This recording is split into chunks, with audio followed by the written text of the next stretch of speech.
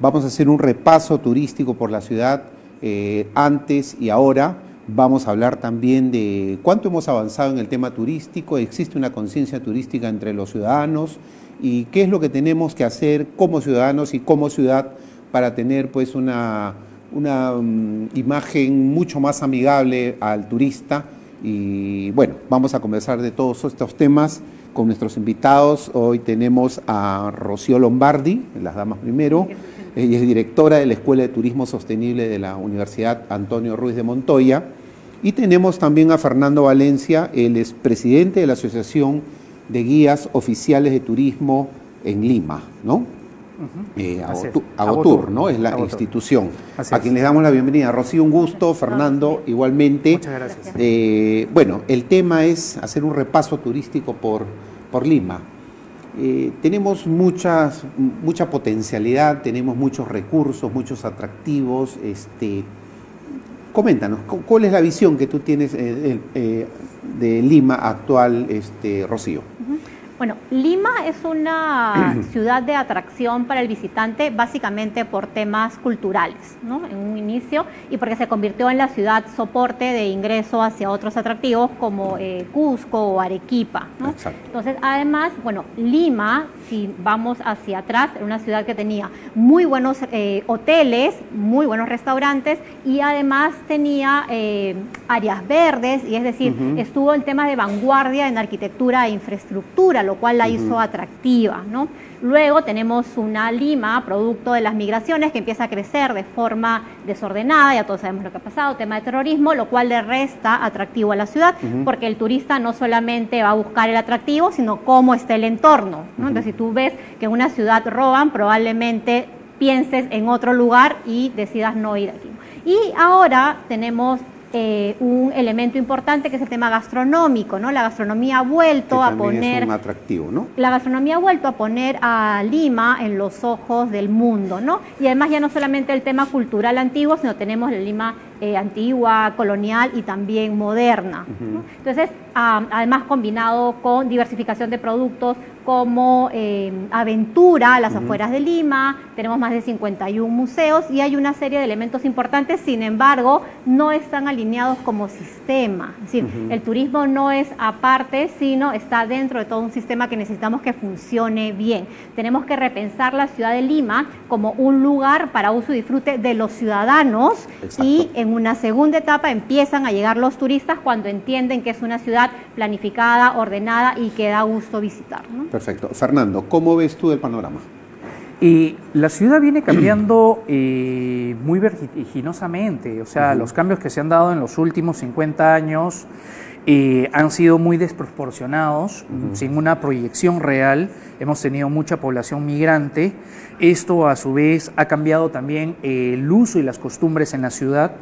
Por lo tanto, eh, la Lima de antaño, la Lima modernista de finales del XIX hasta el siglo XX, de principios del siglo XX, donde, digamos, el gobierno de Leguía hace grandes cambios urbanísticos para luego pasar a una Lima de los 50, eh, donde el gobierno de Bustamante y Rivero comienza a proyectar eh, las grandes unidades vecinales para luego más adelante tener el gobierno de Odría, llegamos hasta Bedoya, y luego como que entramos en un limbo arquitectónico de la expansión no proyectada de Lima por las migraciones que se dan, y surge lo que va a ser el fenómeno del terrorismo en los 80, la crisis económica, y se dejaron de hacer muchos proyectos de interconexión de la ciudad.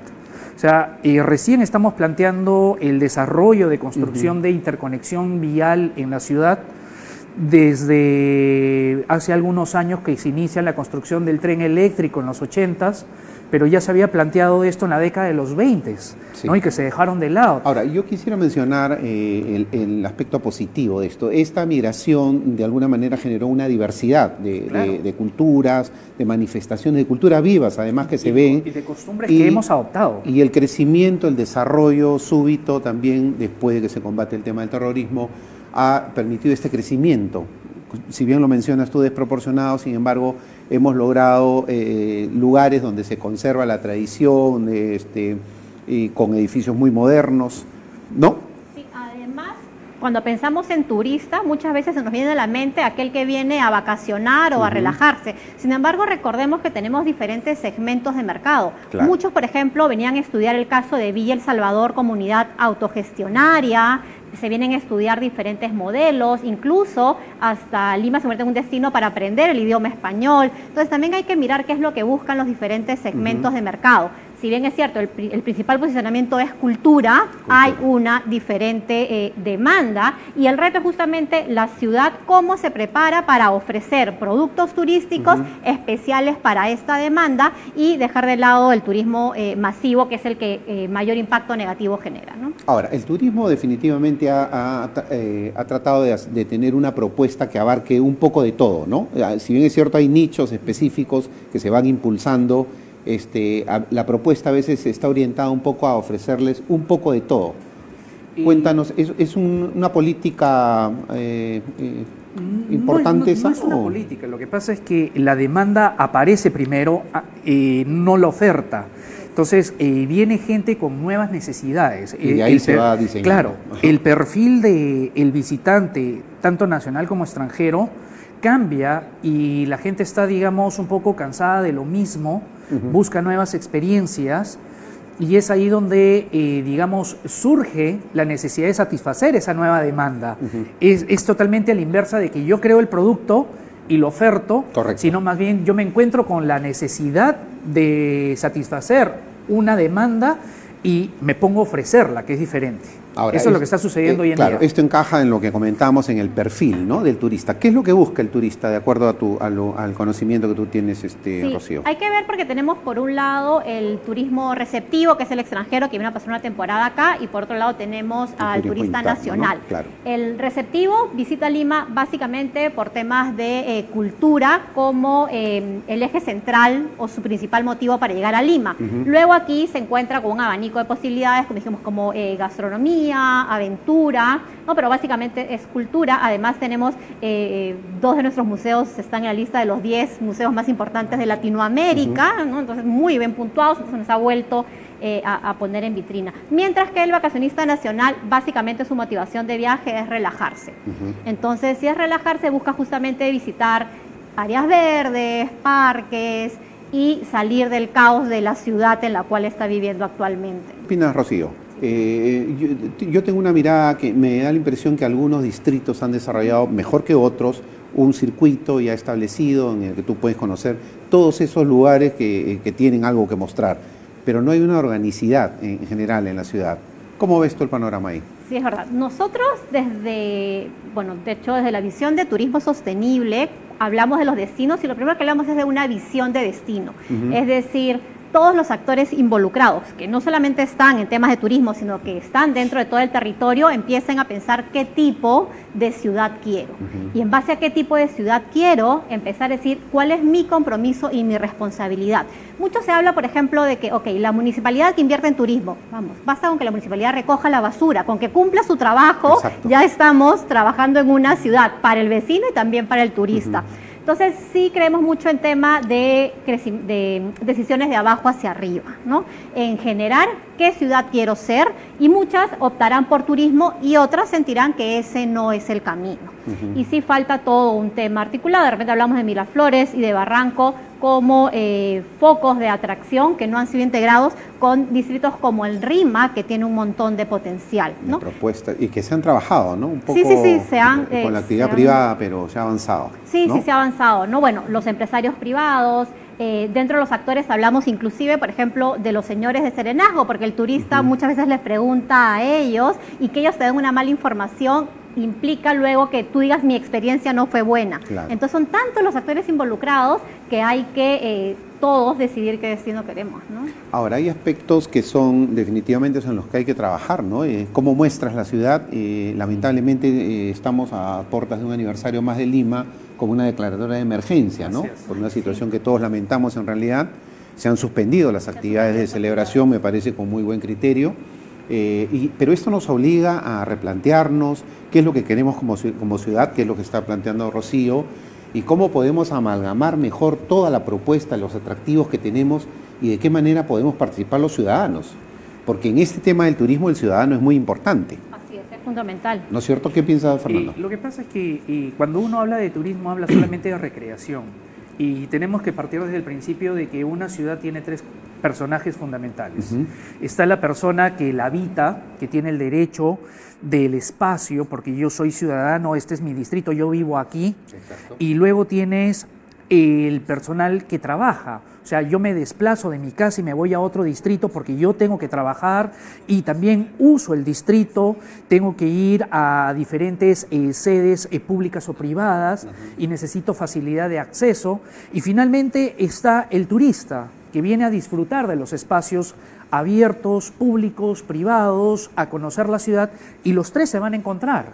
Entonces los tres tienen derecho y los tres tienen que aprender a convivir entre ellos. Entonces tenemos que desarrollar una conciencia social más que eh, una normatividad, porque podemos tener una legislación muy buena, tener instituciones muy buenas, pero si tú no educas a la población, en estos tres principios, en estas tres personas que tienen derechos, no vamos a hacer nada porque van a lesionar y se van a agredir entre ellos. Entonces siempre está la persona apurada que quiere llegar a la oficina estresado y no respeta el tránsito, el derecho del peatón, o la persona que dice yo vivo aquí y no quiero que se pongan en esto o que pasen por mi casa porque me hacen bulla, ¿no? Y está el turista que quiere conocer porque tienes un atractivo. una vez me pasó eh, caminando por los alrededores de ¿no? Que una señora desde una ventana me dice, hey, ustedes solo deben de ingresar, no pueden estar aquí, vienen los carros, se paran afuera, el ruido del motor, y es comprensible, ella es una vecina que quiere descansar, pero lamentablemente tiene un atractivo enfrente y hay actividad que, eh, digamos, no ingresa al espacio, pero sí va por los alrededores y los tres, y claro, entonces nosotros como operadores tenemos que saber, ok, hay que respetar al vecino, hay que respetar al ciudadano que se desplaza, que usa la vía, porque yo no puedo tener 15 personas paradas en la calle y cerrar la calle porque la gente no tiene transitabilidad. Entonces, ah, hay, que, hay que coordinar bien todo ello y pensar en el respeto que tienen los otros. Igual, si yo soy ciudadana y estoy transitando y veo un grupo, tratar de ver cómo nos acomodamos los dos. ¿no? Ahora, esa cultura turística eh, que estamos rescatando eh, tiene componentes de sostenibilidad, debería incorporar eh, componentes de, sostenibilidad en el turismo. Eh, ¿Cómo trabajar esos aspectos? ¿Cómo interiorizar eso en autoridades, en, todos los grupos?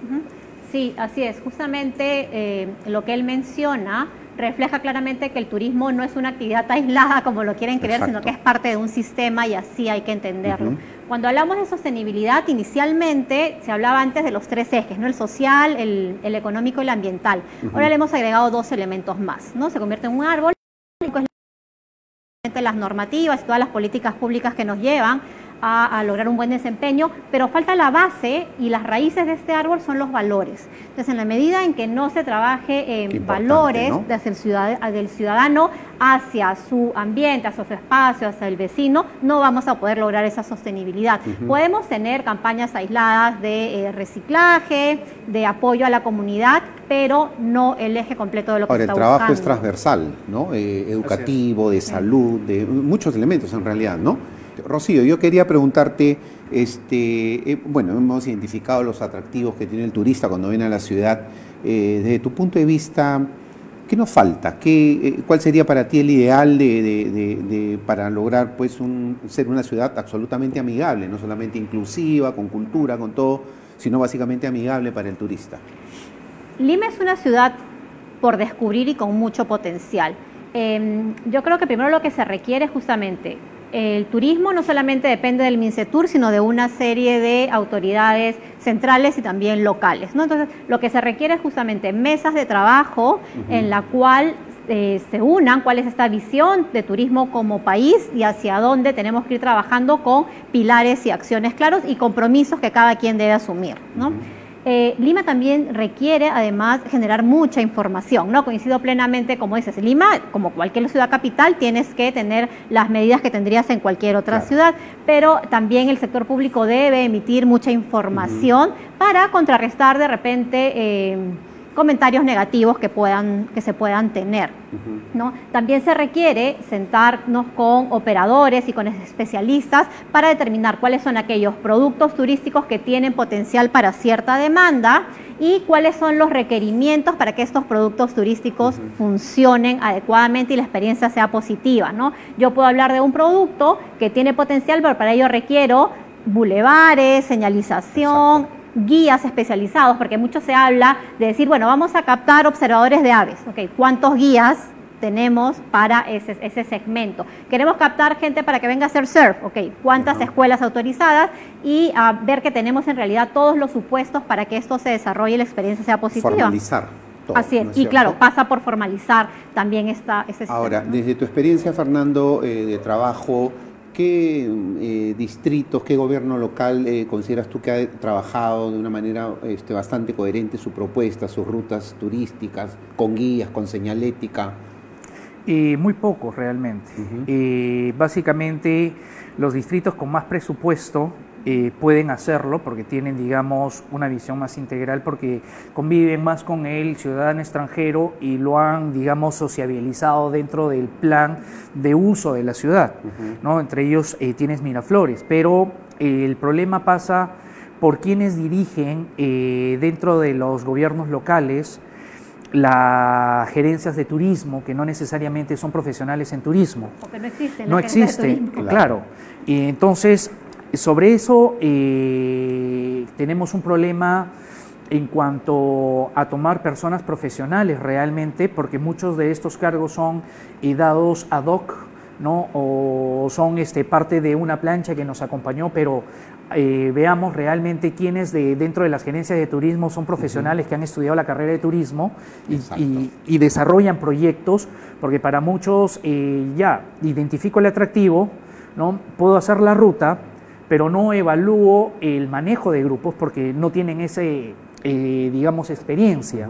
Entonces nosotros sí, eh, dentro de lo que es el gremio de guías, proponemos eh, muchas cosas dentro de la Cámara Nacional, porque somos parte de la Cámara, somos miembros de la Cámara Nacional de Turismo, y con la Cámara Nacional de Turismo se ha logrado integrar a todos los gremios de turismo para tener una sola visión de turismo nacional. Por ello es que eh, sí se ha desarrollado mesas de trabajo.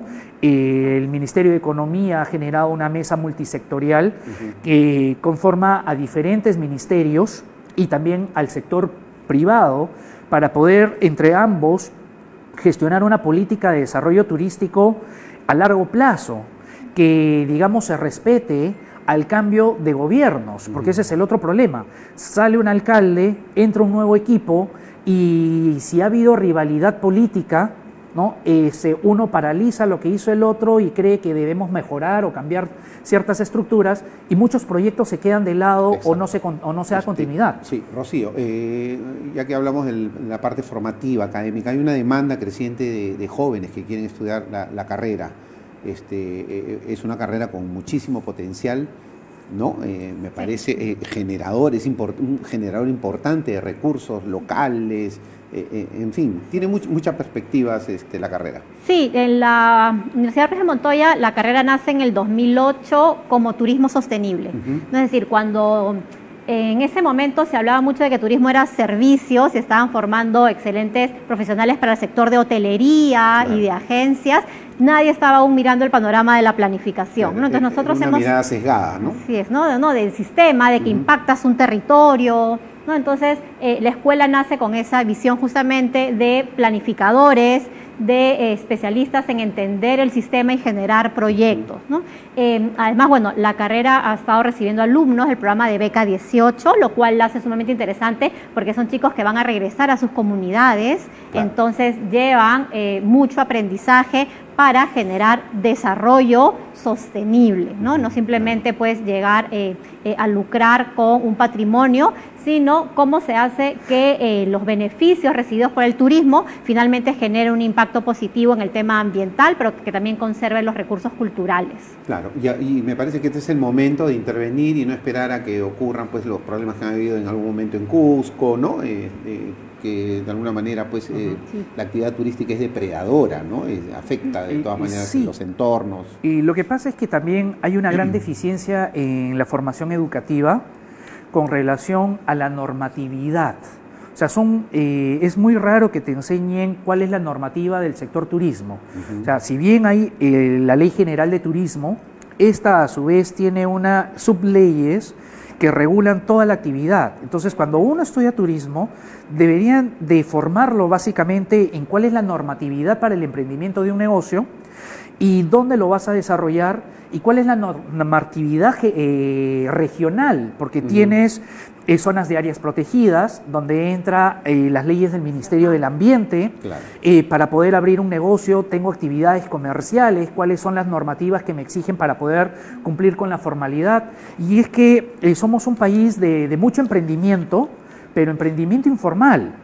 Entonces, bajo la excusa de que para poder emprender hay que empezar con, poco y a como sea, nos hemos acostumbrado a no ser formales y salir del paso y digamos, eh, no, pues no saco la licencia porque me cuesta y bueno, vamos a tratar de hacer las cosas hasta que la necesidad me obligue ya que tengo que formalizar o sacar cierto documento, cumplir con cierta norma.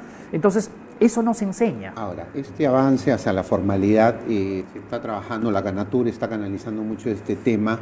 Y bueno, es importante todos los gremios que participan en el sector turístico, la academia fundamental también, para lograr que los jóvenes que egresan salgan pues con esta idea de que el turismo es una actividad absolutamente seria, es una actividad formal y por, y por lo general la experiencia turística ah, se va a traducir en, agradable, en, importante cuando utilizas esos recursos formales.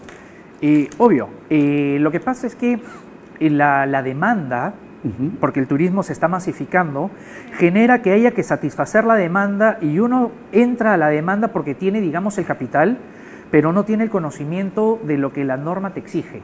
Y es ahí donde eh, viene el problema, ponte.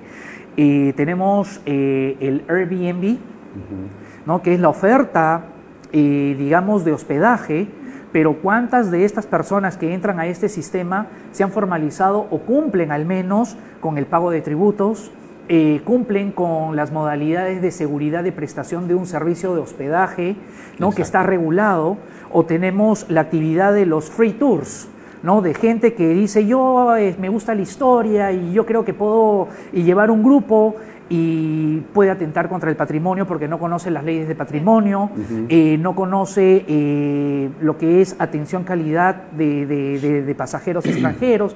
Entonces hay una serie de, falta de formación que la formalidad sí te exige. Y a veces es una cuestión más de eh, deseo de quererlas cumplir porque nos hemos acostumbrado a no cumplir con las normas. O sea, existe la norma, pero eso es un saludo a la bandera y no trabajamos en ella. Entonces tenemos mucha informalidad en el sector.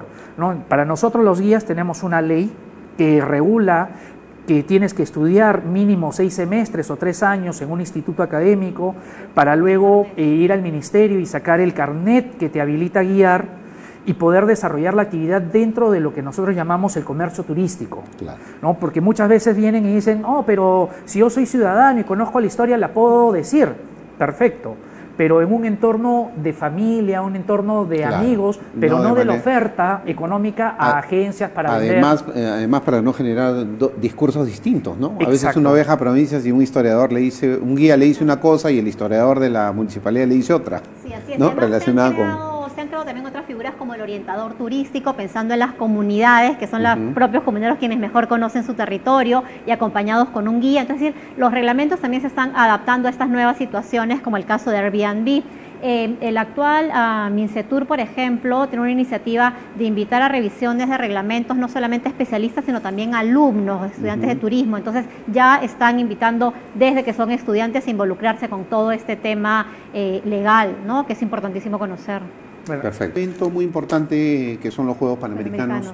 Eh, ¿Cuál es el impacto que va a tener en términos de turismo, en términos de medio ambiente, de, sostenibilidad de este trabajo que, tenemos este, para, presentar una ciudad pues, este, absolutamente amigable?